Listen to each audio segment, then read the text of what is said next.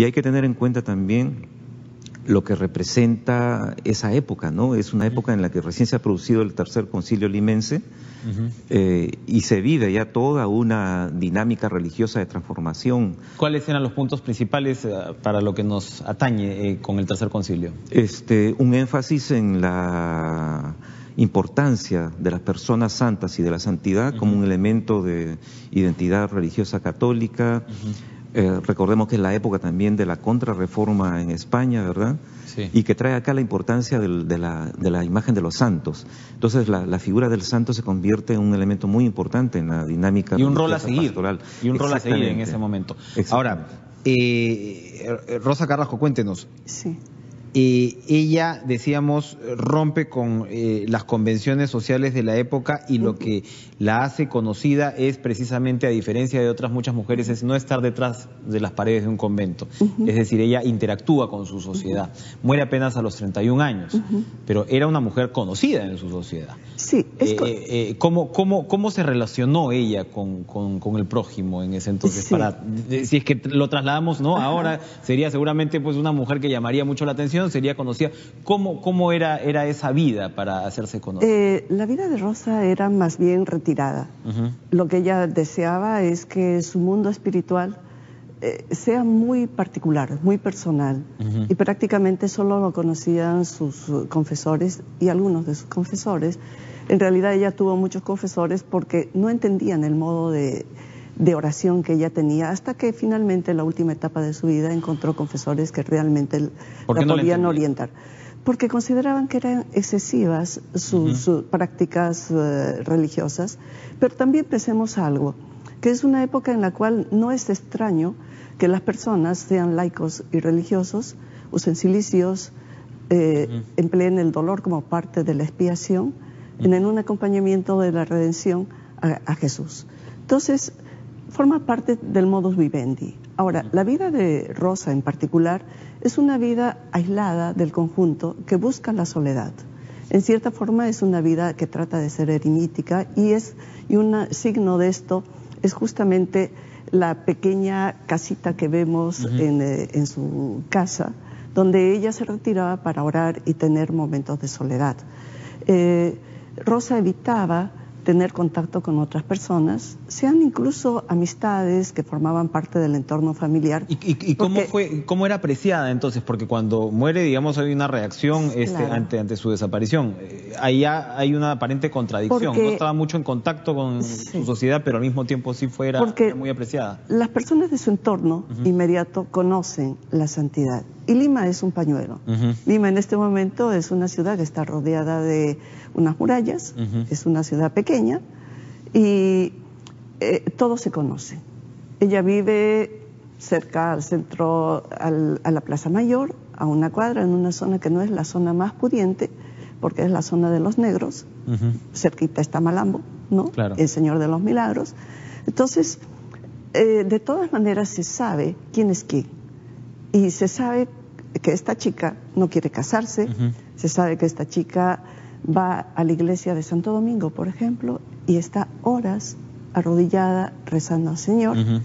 Se sabe que no quiere asistir a las reuniones sociales porque no se la ve y se indaga. Entonces, y la gente en Lima es Era un personaje misterioso, tenía, tenía una dosis de misterio. Yo no diría misterioso, era un personaje sumamente reservado. Reservado, que quería seguir su religiosidad y quería seguir los designios del Señor de la manera más fiel posible, como si estuviera en un convento. No estaba en un convento, pero ella quería cumplir, eh, digamos, la regla de Santa Catalina de Siena, que era su maestra en cierta forma, y la cumplía.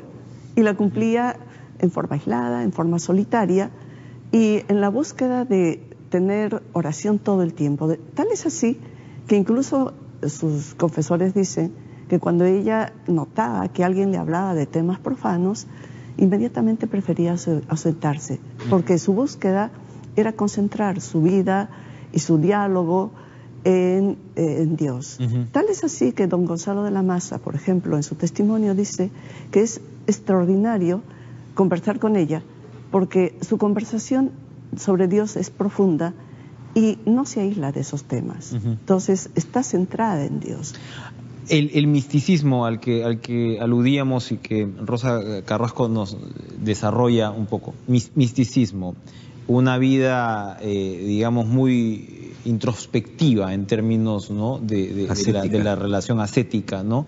de, la, de la relación con Dios. Esta eh, impresión inicial de algunos confesores, ¿no? Eh, que decían que de repente era demasiado extrema la, la, forma en la cual ella llevaba su religiosidad.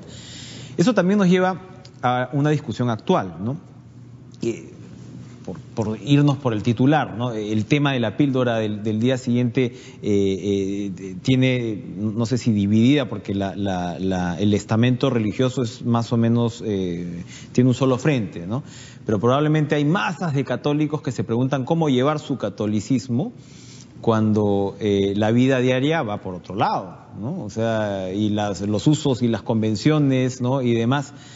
Eh, cuando hablamos de una eh, eh, santa como Rosa de Lima, que en realidad tampoco corresponde a un parámetro de la relación con la sociedad, de repente con el prójimo, más inmediata, también es un desafío, ¿no?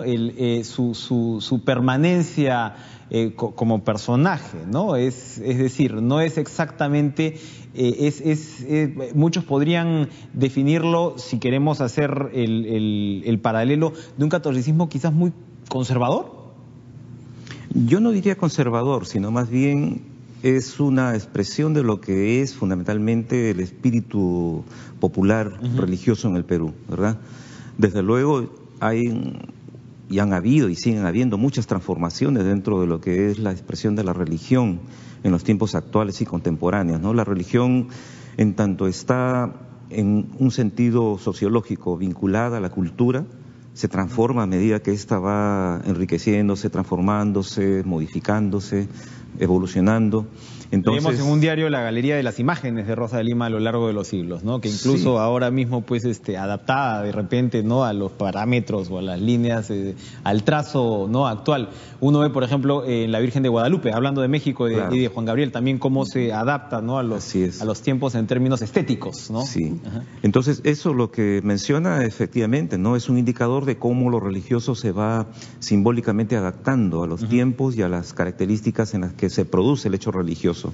Y Santa Rosa de Lima no es la excepción, ¿verdad? Este, desde luego no son las condiciones de la época de la colonia ni de la época republicana. En los tiempos actuales es otro modo de vivir esa, esa fe.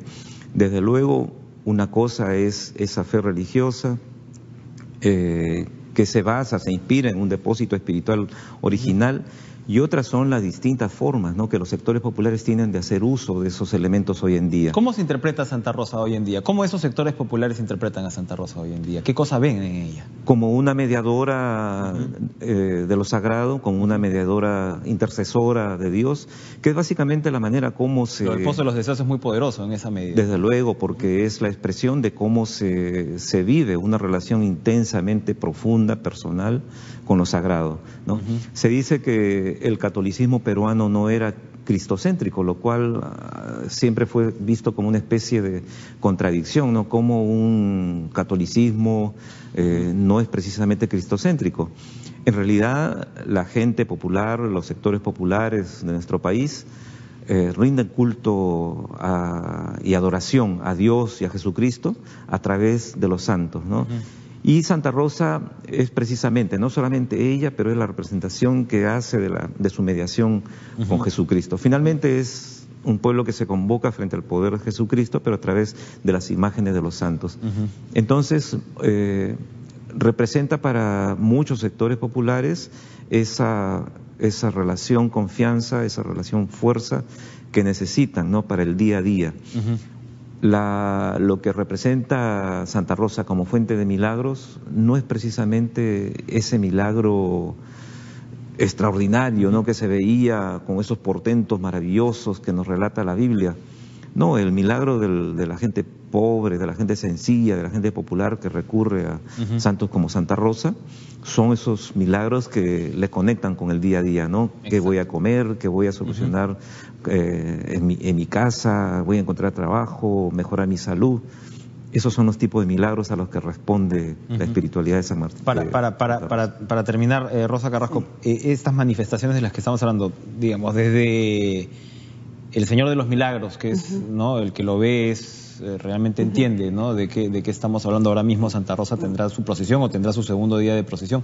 Y vamos hasta Sarita Colonia y la Melchorita y, ¿no? y todas estas que, que, se conectan con manifestaciones. Para cerrar, otra vez, este ascetismo esta suerte de, de, figura eh, introspectiva, ascética, que representa Santa Rosa, sí marca una diferencia de repente con el resto del santoral peruano. Eh, eh, en términos de cómo la población la, la, interpreta y la sigue hoy. ¿no? Este Hablamos de la intermediación de los milagros, pero hay otros elementos también. pero en estos momentos creo que la presencia de Santa Rosa es muy fuerte y a veces nosotros no la conocemos. ¿Por qué es tan fuerte? Porque, por ejemplo, hay eh, expresiones en, diferentes lugares que de repente ni nos enteramos. En Managua, por ejemplo, el cardenal Brenner acaba, de hacer una misa, acaba de hacer una misa y ha señalado que el próximo año va a ser un año santo dedicado a Santa Rosa. Y además que la imagen de Santa Rosa va a visitar... Son los 400 años el próximo año, ¿no? Va a visitar todas las viviendas de, de la ciudad, ¿no? Entonces, eh, luego hay manifestaciones religiosas en nuestro país en numerosos lugares, hay una cantidad enorme de colegios que llegan, llevan, por ejemplo, el nombre de Santa Rosa. Hay más de 60 localidades también. Sí, en el, Cusco, por ejemplo, hay un colegio Santa Rosa, en Abancay hay otro, en eh, Barranca hay otro. Además, hay lugares que llevan el nombre de Santa Rosa en, diversos, en diversos lugares y se le rinde culto en España y en toda Latinoamérica. Entonces, a veces estas expresiones, estas manifestaciones simplemente no las conocemos porque están lejanas. Y en este momento en el Perú también se está realizando una serie de actividades, como justo que han, empezado con la procesión, que hoy día va a continuar y va a visitar las Nazarenas por primera vez, ¿no? El convento de las Nazarenas, y luego va a retornar a su convento, ¿no? Entonces es un trayecto largo y es un acompañamiento colectivo, que es una manifestación popular que, con la cual la gente se siente identificada y se siente identificada por Santa Rosa porque ella fue una persona que trabajó por los pobres. Tal es así que cuando ella murió había muchísima gente que lloraba, muchos pobres que lloraban porque perdían a una benefactora, ¿no? A una mujer que había ayudado a esclavos, que había atendido a esclavos. Por ejemplo, cuando sabía que estaba un esclavo enfermo, ella no tenía ningún reparo de ir a la casa de la persona donde estaba este enfermo y atender al enfermo, e incluso quedarse muchísimo tiempo atendiéndolo, cosa que en esa época era extraña, porque normalmente los esclavos pues eran el sector que a nadie le interesaba, ¿no? Que muera un esclavo, esté vivo, total, ¿qué importa si puede comprar otro? Porque incluso en el comercio de la época, cuando se compra un esclavo, se habla de una pieza, no de un ser humano ha llegado una pieza, compré una pieza, ¿no? Muy bien. Bueno, ahí está pues los milagros del día a día, ¿no? Que busca, ¿no? Que busca el pueblo y que, y que observa en Rosa de Lima esa, esa referencia. La vigencia de Santa Rosa en el año 2016, 399 años, entonces el próximo año es una fecha efectivamente central, son cuatro siglos. Sí. Muchas gracias a José Sánchez Paredes, Rosa Carrasco Ligarde.